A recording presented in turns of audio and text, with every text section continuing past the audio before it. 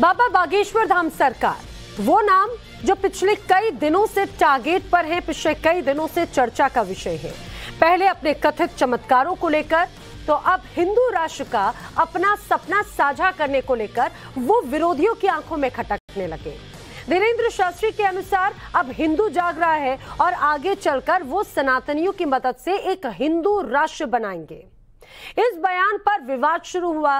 इस बयान पर बरेली के एक मौलाना हैं, जिन्हें इतनी ज़्यादा एतराज़ हो गया कि उन्होंने इसे नफरती बयान बता दिया। याद रखिए, हम ना तो यहाँ पर बाबा के बयान का समर्थन कर रहे हैं, ना मौलाना साहब के बयान का विरोध कर रहे हैं। हमारा सवाल दरअसल सिर्फ़ उस सिलेक्टिव पॉलिटिक्स को लेकर है, जो हिंदू धर्म पर बार बार हो रहे टारगेट पर तो चुप्पी साधता है, लेकिन जब हिंदू राष्ट्र की बात होती है तो ना जाने कितनी साजिशों के कैसे कैसे आरोप मर दिए जाते हैं। क्योंकि ये कोई पहला मौका नहीं है। इसके पहले भी कई बार इस तरह की बातें सामने आई। अब जब हिंदू राष्ट्र बनाए जाने की बात उनकी तरफ़ से कही गई, इसके बाद में एक अलग तस्वीर नज़र आती है। आपको जरा ये बताते हैं कि धीरेन्द्र शास्त्री, वो धीरेन्द्र शास्त्री जो बाबा बागेश्वर धाम के ये कहा जाए कथावाचक हैं और उनकी तरफ़ से अभी जो बयानबाजियाँ कही गई, बयानबाजियाँ की गई, उनको लेकर एक बार फिर से ना सिर्फ़ वो चर्चा में बल्कि विवादों में आ चुके हैं। उन्होंने दरअसल छत्तीसगढ़ के रायपुर में जब सभा वो कर रहे थे, कथा इस समय जब चल रही थी तो इस दौरान उन्होंने श्रद्धालुओं को संबोधित करते हुए ये कहा था कि अब जिस तरह से मेरा साथ देंगे तो हम हिंदू राष्ट्र बनाएँगे। उनके इस बयान से अब एक अलग तस्वीर बनती हुई नज़र आती है। एक तबका एक सिलेक्टिव पॉलिटिक्स के साथ में एक धड़ा एक्टिव हो चुका है। मेरे साथ में चर्चा के लिए जो खास मेहमान मौजूद हैं, उनसे आपको मिलवा देते हैं स्वामी चक्रपाणी, जो कि हिंदू धर्म गुरु हैं, मेरे साथ में मौजूद हैं। इसके अलावा मेरे साथ में माजिद हैदरी हैं, जो कि मुस्लिम स्कॉलर हैं, मेरे साथ में जुड़ गए हैं। माजिद, मेरा पहला सवाल आप ही से है कि आखिर इसमें नफरती बयान क्यों नज़र आता है मौलाना साहब को? देखिए, मैडम, सबसे पहले तो तमाम दर्शकों को और आप सबों को भी हम सबों को भी पूरे देशवासियों को गणतंत्र दिवस की बहुत बहुत हार्दिक शुभकामनाएँ। देखिए आज का जो दिन है ये ऐसा ऐतिहासिक दिन है कि हम समय सबसे पहले बताता है कि हमारा संविधान जो है सेक्युलर है और इसमें हिंदू राष्ट्र की या इस्लामिक कैलिफेट की बात हो नहीं सकती। अब अगर ये जो बाबा बागेश्वर जो वो ऐसे ऐसे करके जो वो बात करते हैं बाबा बागेश्वर के वो हिंदू राष्ट्र बनाएँगे मैं उन बाबा जी को कहना चाहता हूँ कि अगर ये बात मौलाना साहब ने कही होती कि हमें इस्लामिक राष्ट्र बनाएँगे तो अभी मौलाना साहब पे यूपीए यूएपीए लग गया होता और मौलाना साहब जो है ना वो अभी तिहाड़ जेल में बंद होते। लेकिन क्योंकि बाबा जो है ये दूसरे समुदाय से आते हैं इसलिए इनके खिलाफ कोई केस नहीं हो रहा है। मौलानाओं ऐसे कई नेताओं की लंबी फहरिस्त है जो इस तरह की बातें कहते रहे हैं। और आप ऐसे बताइए ऐसे कितने मौलाना कितने नेताओं पर इस तरह से यूएपीए लगाया गया? आगे मैं चर्चा करूँगी। ठीक है मैं आपके सवाल अपने सवाल का जवाब भी आपसे लूँगी लेकिन उसके पहले एक रिपोर्ट ज़रूर ले दिखाते हैं दर्शकों को।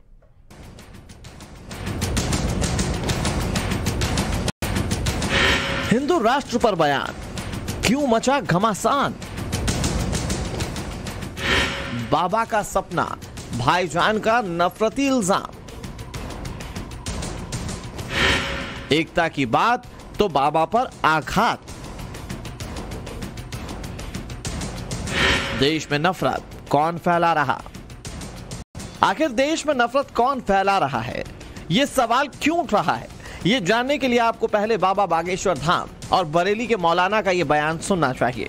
सुभाष चंद्र बोस जी के जन्मोत्सव पर उनका एक नारा था।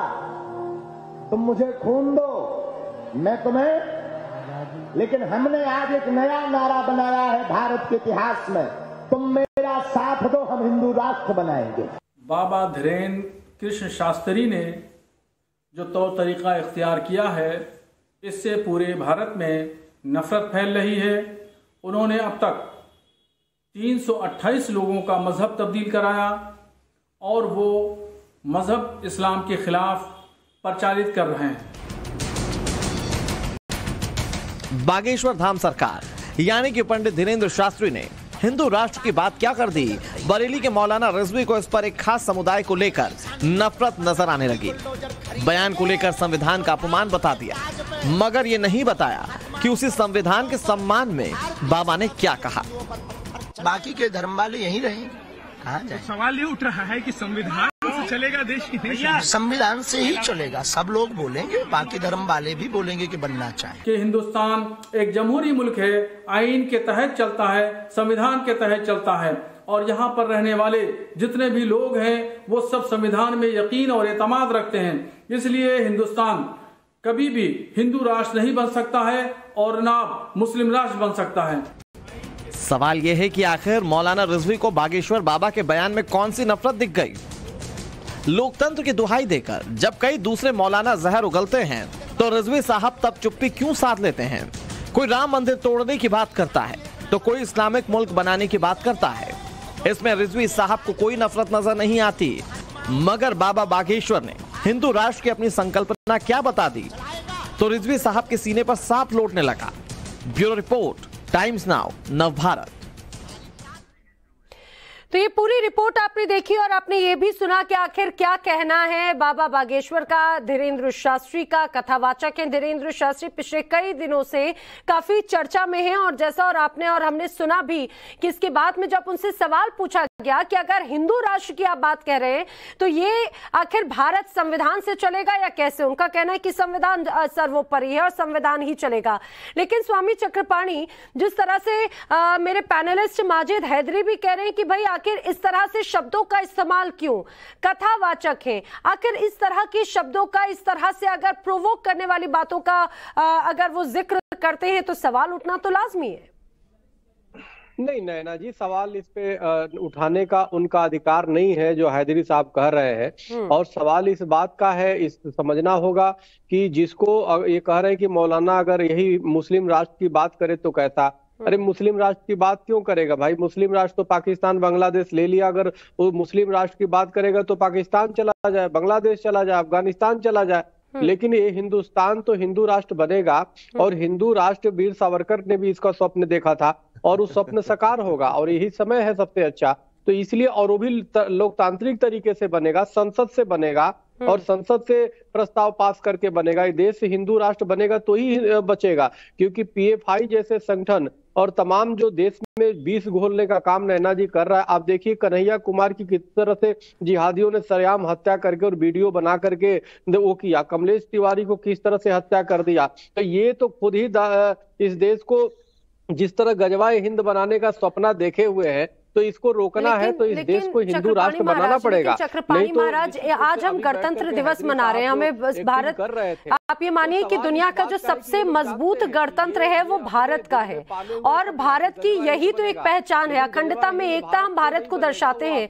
महाराज जी मेरी बात तो सुनिए अखंडता में एकता हम भारत को दर्शाते हैं जिसमें हर समुदाय के लोग जिसमें हर रंग के लोग जहाँ पर विविधताएँ नज़र आती हैं। अगर उसमें इस तरह से बात होगी तो सवाल उठेगा अरविंद जी। नैना जी हर रंग तभी तक है जब हम्म। तक जब तक हिंदू बहुसंख्यक है। हम्म। जब तक हिंदू बहुसंख्यक है हर रंग आपको दिखाई दे रहा है। हम्म। जहाँ हिंदू अगर अल्पसंख्यक हो गया आप देखिए कि आप, आप हरा हरा ही रंग दिखाई देगा और उस पे चाँद दिखाई देगा। चाहे वो पाकिस्तान हो। चाहे बांग्लादेश हो चाहे पॉलिटिकल एनालिस्ट है जी अरविंद जी।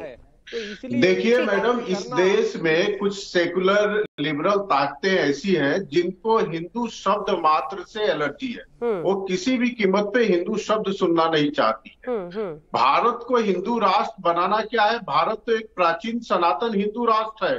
भारत की संस्कृति हिंदू संस्कृति है। और हिंदू जो शब्द है वो मुस्लिम शब्द के समानांतर शब्द नहीं है। हिंदू शब्द इस देश के राष्ट्रीयता का वाचक है। और इस पर समय समय पर इस देश के सर्वोच्च न्यायालय ने भी हम्म। मुहर लगाया है। हिंदुत्व हिंदुत्व का मतलब भारतीत्व होता है। तो भारत में भारत की संस्कृति को पशुत पुलवित होना चाहिए और भारत के संस्कृति के अनुरूप राष्ट्र बनना चाहिए। इसमें आपत्ति क्या हो सकता है? भारत को हिंदू राष्ट्र बनाना क्या है? भारत ऑलरेडी एक प्राचीन हिंदू राष्ट्र है हम्म। और इसकी जो संस्कृति है वो हिंदू संस्कृति तो फिर अरविंद जी अगर इस तरह से अलग अलग मंच से अगर जब ये बयान आते हैं जब सवाल उठते हैं तब फिर फिर इस तरह से बवाल क्यों होता है बवाल इसलिए होता है कि इस देश में एक माइंड सेट है हम्म। जो हिंदू नाम से मैंने जो पहले कहा उनको एलर्जी है। जब हम हिंदुत्व की बात करते हैं तो भारतीयता की बात करते हैं। हम्म, हम्म। और हिंदुत्व में ही सबके लिए स्थान है। और हिंदुत्व ही कहता है सर्वे भवंतु सुखिना सभी सुखी हो। हिंदुत्व ही कहता है कि सबकी पूजा पद्धति सही है। हिंदुत्व ही कहता है कि सबका विचारधारा सही है। इसका विरोध वे लोग करते हैं जिनका मानना है कि सबका विचारधारा सही नहीं है। एक ही विचारधारा सही है एक ही पुस्तक सही है, एक ही पैगंबर सही है, एक ही भगवान सही है। इस संकीर्ण सोच वाले ही जो भारतीयता का विचारधारा है जो आइडिया माजिद अखंडता में एकता भारत की पहचान है हिंदुस्तान की पहचान है। अरविंद जी क्या मैडम बिल देखिए मैडम बिल्कुल स्वामी जी ने भी सही कहा और मेरे दूसरे हिंदू भाई जो इनने भी सही कहा कि प्राचीन काल में भारत हिंदू राष्ट्र था उसके बाद 500 साल तक इस्लाम मुसलमान राष्ट्र था हम्म। उसके बाद फिर फिरंगी राष्ट्र बना उसके बाद भारत आज़ाद हुआ तो ऐसे तो भाई बात नहीं बनेगी ना। और जब आप कहते हैं कि जो मुस्लिम राष्ट्र की बात करें उन्हें आप अफ़गानिस्तान भेजो पाकिस्तान भेजो जो हिंदू राष्ट्र की इस देश में बात करेगा उसे नेपाल भिजू भाई इसकी तो बात नहीं चलेगी। मैं केवल एक चीज़ दर्शकों को बताना चाहता हूँ कि मुझे पीके पिक ने ज़रूर ये जो बाबा बागेश्वर जी है ना ये रॉन्ग नंबर है। ये बाबा बागेश्वर जी रॉन्ग नंबर है। ये लोगों को धोखा दे रहे हैं मैं बता दूँ इन्हें जिनके खिलाफ कार्रवाई करने की ज़रूरत है वरना ये माजिद माजिद ये रॉन्ग नंबर है। या राइट नंबर है। ये ये आस्था पर सवाल खड़े कर रहे हैं आप। ये रॉन्ग नंबर है ये राइट नंबर है ये श्रद्धालुओं को या फिर जो लोग हैं उन्हें ये तय करने दीजिए। अगर आप बोले कि अगर केस होना तो- चाहिए तो ठीक है केस भी हुआ क्लीन चिट मिली और ये हम ये अभी आज ये इस पर चर्चा नहीं हो रही है। रॉन्ग या राइट तय करने वाले आप या हम नहीं होते हैं माजिद? मैडम मैंने तो कहा रॉन्ग नंबर ये तो फ्रीडम ऑफ़ एक्सप्रेशन आज तो संविधान का दिवस है हमारा गणतंत्र दिवस है। आज तो बात करने का मौका दे इसके मुस्लिम समुदाय के व्यक्ति को भी इस मंच पे। मैं केवल आमिर खान का डायलॉग याद करा रहा हूँ देश को देशवासियों को कि पीके में आमिर खान ने कहा था ये रॉन्ग नंबर है। बाबा बागेश्वर जी मुझे रॉन्ग नंबर खेल रहे हैं? हैदरी साहब विक्टिम कार्ड खेल रहे हैं बैठ के। माजिद जी विक्टिम आखिर कौन विक्टिम कार्ड खेल रहा है? ये अपने आप में एक बड़ा सवाल है। जी, अब चर्चा में, क्योंकि आप बड़ी देरी से इसमें जुड़े आपका इसमें पॉइंट लेना चाहूँगी। मेरे साथी माजिद अभी नज़र नहीं आ रहे हैं, लेकिन उनका कहना है कि भाई, ये एक अलग तरह का प्रोपोगेंडा है। माजिद अब आ चुके हैं स्क्रीन पे। मैं चाह रही हूँ जरा इस बारे में बताइए कि आखिर इतना बवाल क्यों है? दरअसल समस्या क्या है कि जो नॉन स्टेट एक्टर्स हैं, वो स्टेट एक्टर्स की तरह बिहेव कर रहे हैं। हम्म। जो शासन में नहीं है वो हिंदू राष्ट्र बनाएँगे। और जो शासन में है जैसे अमित शाह जी वो एक जनवरी को राम मंदिर बनाएँगे। तो ये जो अपना काम उनका नहीं है वो अपना काम छोड़ के वो बाकी सब काम करना चाहते हैं। यही इस देश की समस्या है। जी। प्रेम जी राम मंदिर राम मंदिर से भी आपत्ति हो रही है क्या लोगों को? राम मंदिर तो शुरू से बीजेपी अपने एजेंडे में शामिल रखते रही है। अरविंद जी कुछ कह रहे हैं आपकी इस बात पे रिएक्ट नहीं, नहीं, मैं, मैं मैं जो बोल रहा हूँ मेरा जो आपका आपका जो सवाल है थोड़ा सा समझिए। राम मंदिर बनाने के लिए ऑलरेडी सरकार ने ट्रस्ट बना दिया वो अपना काम कर रहा है लेकिन उसकी तारीख इस देश का गृह मंत्री बता। तो स्टेट स्टेट जो देश को चलाना है वो राम सवाल का जवाब दे रहे हैं। और जिनको जिनको राम मंदिर बनाना है वो हिंदू राष्ट्र बनाने की भगवान श्री राम से ये जो दुविधा है ये जो महात्मा गांधी जी का सपना था राम राम। की समस्या जो राम राम सुबह शाम करते थे उनके सपनों के अनुरूप भारत बन रहा है और भगवान श्री राम के आदर्शों के अनुरूप एक उनके जन्मभूमि पर मंदिर बन रहा है उसमें भी आपको आपत्ति है। और बात आप लोग करते हैं धर्म राम मंदिर ट्रस्ट पर देश में राम का मंदिर न बने क्या? राम मंदिर की राम के मंदिर बनने से आप क्या नुकसान करनी चाहिए। Who is mister Amit Shah Amit Shah कौन है राम मंदिर कि, किस दिन बनेगा उसकी तारीख की घोषणा करने वाले। राम मंदिर क्यों नहीं? करेगा भारतीय जनता पार्टी के वरिष्ठ नेता है देश के मंत्री है। आपको जानकारी नहीं है। भारत नहीं, नहीं, चर्चा चर्चा किसी और दिशा में जा रही है। बनवाया था। चर्चा किसी और दिशा में जा रही है। सरदार पटेल ने नहीं नहीं प्रेम जी प्रेम जी नहीं चर्चा किसी और दिशा में जा रही है। आप अपनी बात जो कह रहे हैं वो आप आप अपनी बात जो कह रहे हैं मेरे सवाल का जरा जवाब ज़रूर दीजिएगा। लेकिन स्वामी चक्रपाणी महाराज जी प्रेम कुमार जी बोल रहे हैं कि भाई यहाँ पे जिसकी भूमिका जो है वो उस भूमिका में नज़र नहीं आ रहा। अगर मैं प्रेम जी का सवाल सही समझ रही हूँ तो। वो जो जिस भूमिका में है वो उस भूमिका में नज़र नहीं आ रहा। अब इस बीच राम मंदिर की भी बात हुई। अभी जब धीरेन्द्र शास्त्री बागेश्वर धाम की बात भी हो रही थी अब इस बीच ये भी बात हो रही है। हिंदू राष्ट्र की बात हो रही है मंदिर की बात हो रही है। आखिर चल क्या रहा है ये? देखिए माननीय प्रेम कुमार जी बहुत विद्वान है मैं इनका सम्मान करता हूँ लेकिन कभी कभी विद्वान भी व्यक्ति कंफ्यूज हो जाता है इसमें कोई दो राय नहीं है वही हाल है देखिए मैं आपको बताना चाहता हूँ कि जब माननीय अमित शाह जी गृह मंत्री हम्म। जी ने जो घोषणा किया वो देश की भावना को समझते हुए घोषणा किया भाई हाँ। वो कोई असंवैधानिक बात तो नहीं बोल रहे हैं वो माननीय सर्वोच्च न्यायालय से राम मंदिर का निर्णय आया हाँ। उसके बाद वो वहाँ पे काम चल रहा है क्योंकि मैं खुद राम मंदिर में मैं जब ये जब तमाम जब चीज़ें शुरू हुई थी तब खासतौर से प्रयागराज में माघ मेले में जो कई साधु संत मौजूद थे, उन्होंने धीरेन्द्र शास्त्री के बयान, उनके बर्ताव और उनके दावों पर सवाल खड़े किए थे। लेकिन अब इस बीच बड़ी खबर ये कि वो जा रखे हैं। उत्तर प्रदेश कई संतों से मुलाकात करेंगे। मेरे साथ ही हिमांशु जुड़े हैं अपडेट के साथ में। जी, हिमांशु।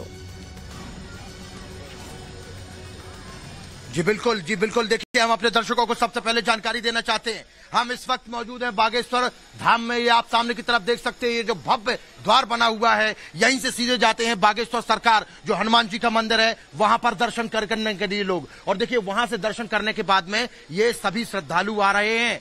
जय श्री राम के नारे लगा रहे हैं। राम इनके राम इनके माथे पर लिखा हुआ है। सबसे पहले तो मैं ये जानकारी दे दूँ, हम इन दर्शकों से बात करेंगे। लेकिन सबसे पहले हम जानकारी देना चाहते हैं कि जो धीरेन्द्र कृष्ण शास्त्री जी हैं, वो देर रात को अपने इस आश्रम से, ये जो सामने की तरफ़ आश्रम बना हुआ दिखा रहे हैं, देखिए, ये राम दरबार आश्रम है।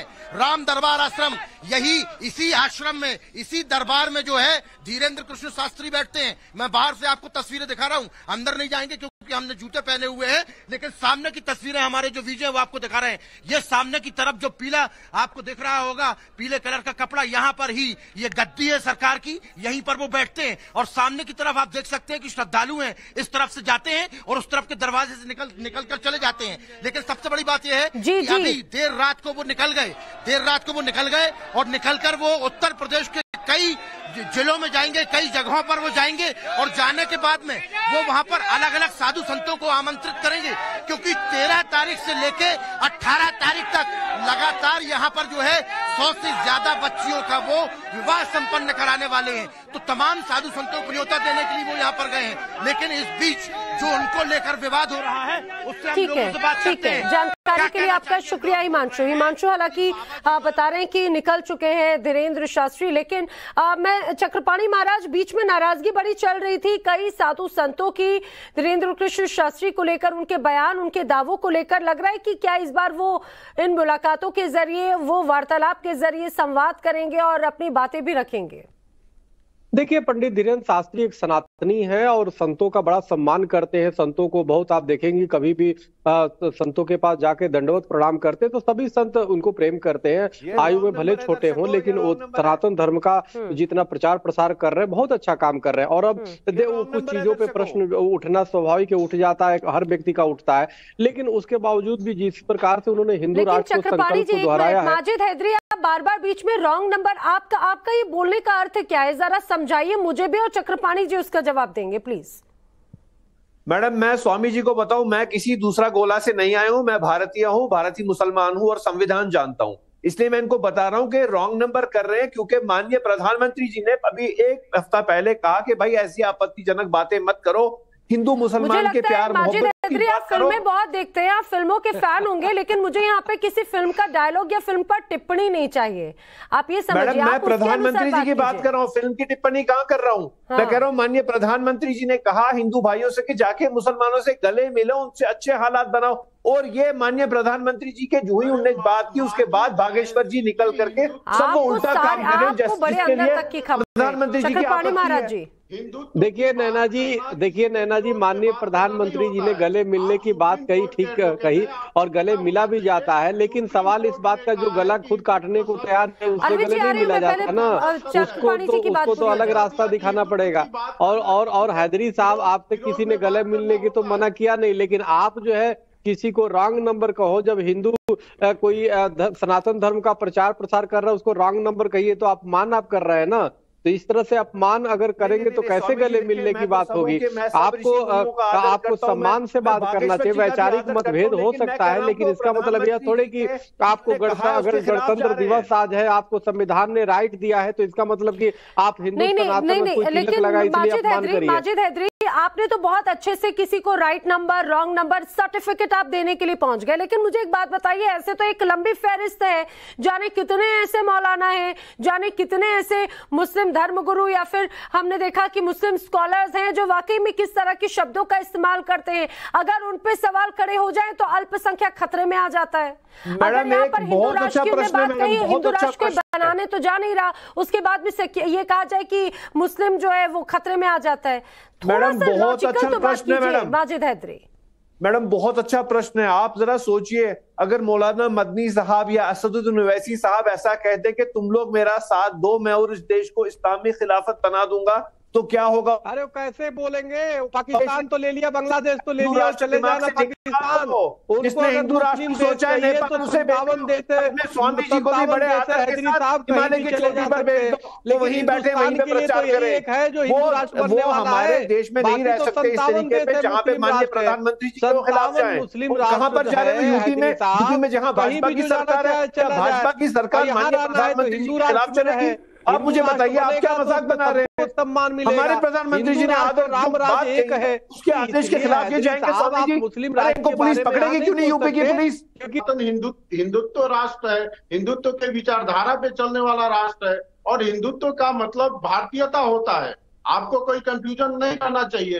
हिंदू कोई संप्रदायवाचक शब्द नहीं है। मुस्लिम संप्रदायवाचक शब्द है। हिंदुत्व में सभी आता है।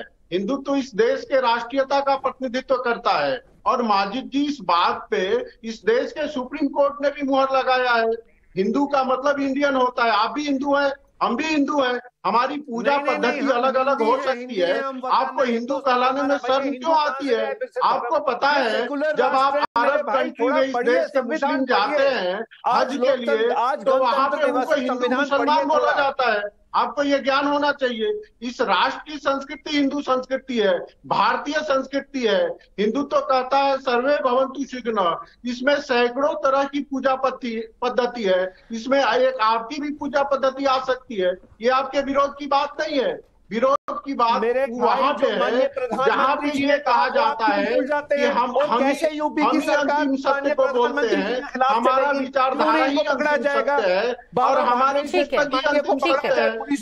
तो मैं प्रेम प्रेम शुक्ला जी को भी बीच में लेना चाह रही हूँ। प्रेम जी धीरेन्द्र शास्त्री जी ने जब उस मंच से ये बात कही कि भाई आप मेरा साथ दो मैं आपको हिंदू राष्ट्र दूँगा इस तरह की कई बातें पहली बार नहीं हुई, इसके पहले भी कई मर्तबा हुई। लेकिन जब उनसे सवाल पूछा गया तो क्या अब संविधान नहीं लागू होगा? उन्होंने कहा बिल्कुल संविधान से चलेगा। और सभी धर्मों के लोग, सभी तरह के लोगों, लोग भारत में रहेंगे, कहीं जाएँगे नहीं। तो जब ये बात स्पष्ट है तो उनके इस बयान को लेकर, उनके इस भाव को लेकर इतना क्यों सवाल है, इतने क्यों उत्पात है, इतने क्यों इस तरह से बवाल मचा हुआ है? देखिए किसी का भी जो बयान होता है उस उस बयान को उनके पुराने बयानों से भी जोड़ करके देखा जाता है। हम्म। धीरेन्द्र शास्त्री जी ने पहले भी बयान दिए हैं और एक धर्म विशेष के खिलाफ में बयान दिए। तो जो जो इसके बाद अगर कोई हिंदू राष्ट्र की बात करता है तो हिंदू का वो मतलब नहीं निकलता है जो अरविंद जी समझा रहे हैं। हिंदू का मतलब धर्म के आधार पर राष्ट्र बनाना ही निकलता है। वो कह दे धीरेन्द्र शास्त्री जी की हिंदू को धर्म के आधार पर हम राष्ट्र बनाना नहीं चाहते। ये बात वो नहीं बोलेंगे। वो भ्रम बनाए रखेंगे। तो ऐसे ऐसे समय में दरअसल क्या है कि इस देश में दो किस्म के करेक्टर भारतीय जनता पार्टी इस देश में खड़ा कर रही है। एक करेक्टर कन्हैया कुमार जैसा है जैसे कि इसकी ब्रांडिंग वो नेगेटिवली करते हैं और एक उनकी भी उम्र तीस से कम रही जब जब ये हुआ उनको ब्रांडिंग नहीं, की गई और एक दूसरा करेक्टर खड़ा किया जा रहा है चीज़ों में अप्रोच नज़र आती है और ये कहा जाए कि इस तरह से जो तथ्य होते हैं जो बातें होती है उसमें भी बड़ी सिलेक्टिव नज़र आती है क्योंकि ये बात कोई नई नहीं है। इसके पहले कई बार इस तरह की बातें हुई है लेकिन जो बवाल और जो सवाल है वो ज़रूर नए हैं। वक्त